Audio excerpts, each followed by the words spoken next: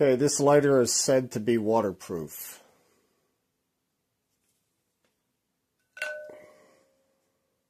Well, it's in the water. Now we're going to check to see if it's waterproof. Hello everyone. Today I'm going to be uh, doing a review of my plasma lighter. Plasma lighter, electric lighter, arc lighter. I've heard it called a lot of different names. I think it's maybe more of an arc lighter.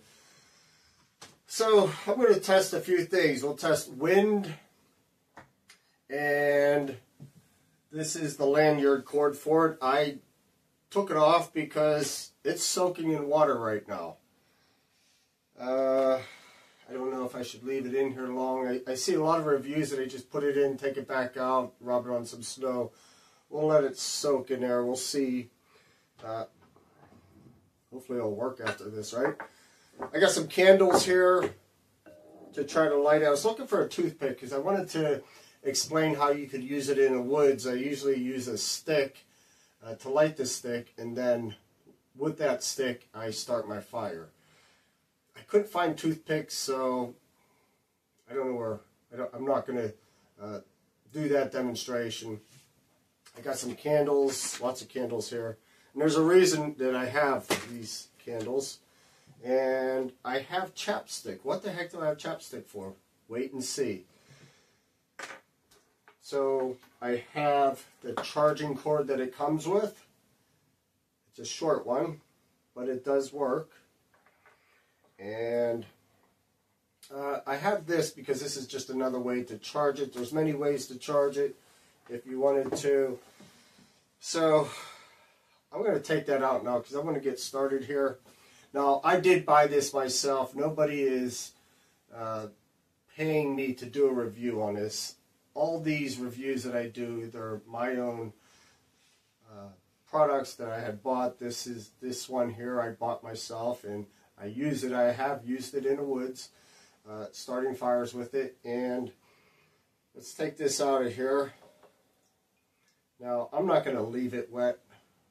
I'm going to actually dry it off because I, I don't want it to be wet when I'm using it. So we will see. after I dry it off if it still works. Dry my hands off. dry this a little better. And then I'm going to clip on my lanyard line here.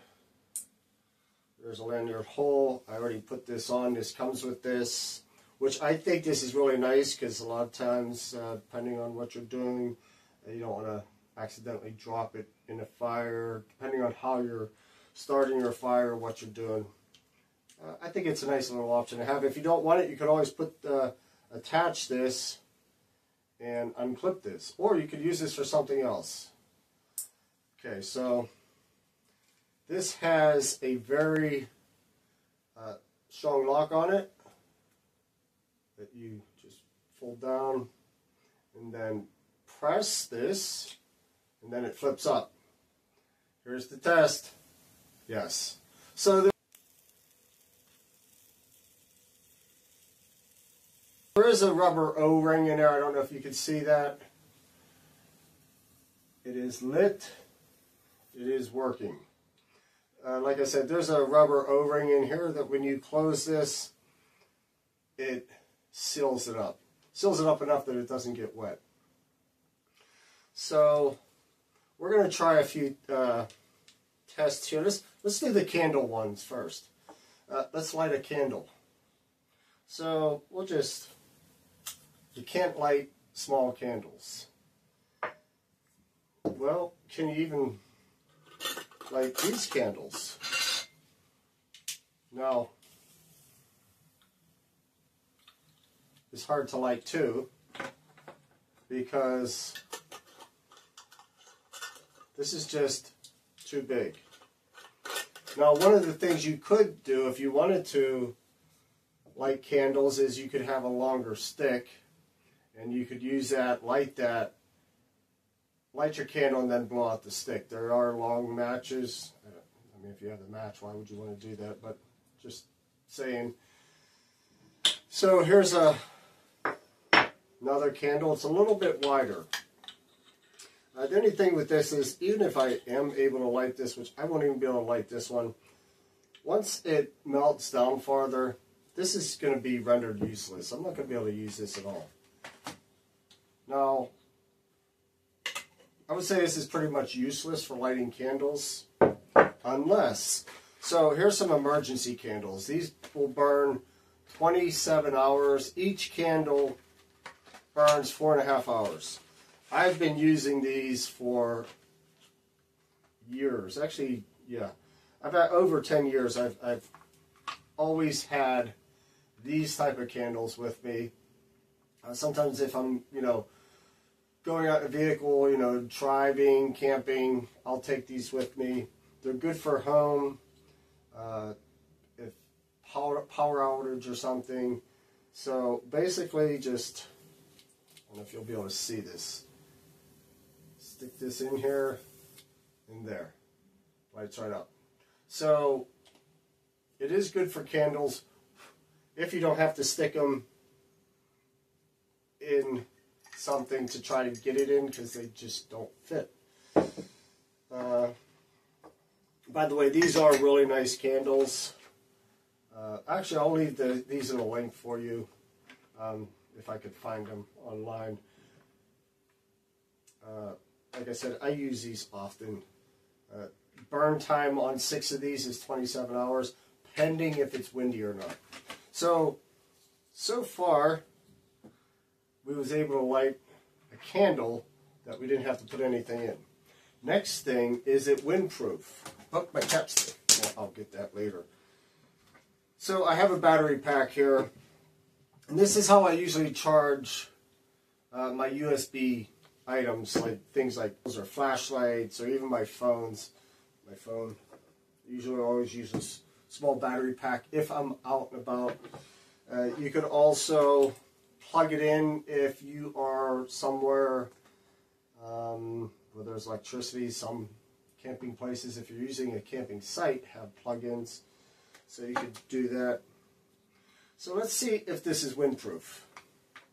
And what we'll do is this only works if it's plugged in. This isn't a chargeable one. Medium. High.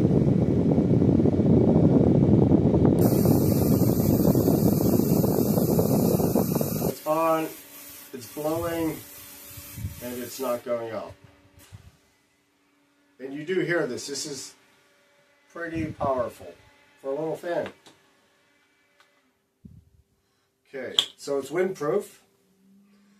Uh, it's waterproof. The other thing about this, now I got the camo one. This does come in other colors. This comes in orange, black. So you could get the orange one. I just decided to get the camo because I wanted the camo one, camouflage one. You could get this in orange. That way if you're out camping and you drop it, it will be much easier to find. So they do have other colors that you can choose from. And also when you're charging this, so you take this off, press this to open it, and there's a place where you put your charger right in here.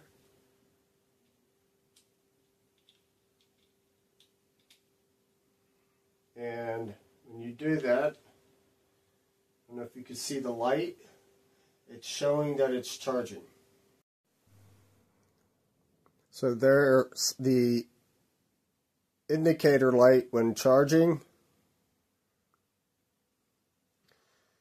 And it comes with a charging cord.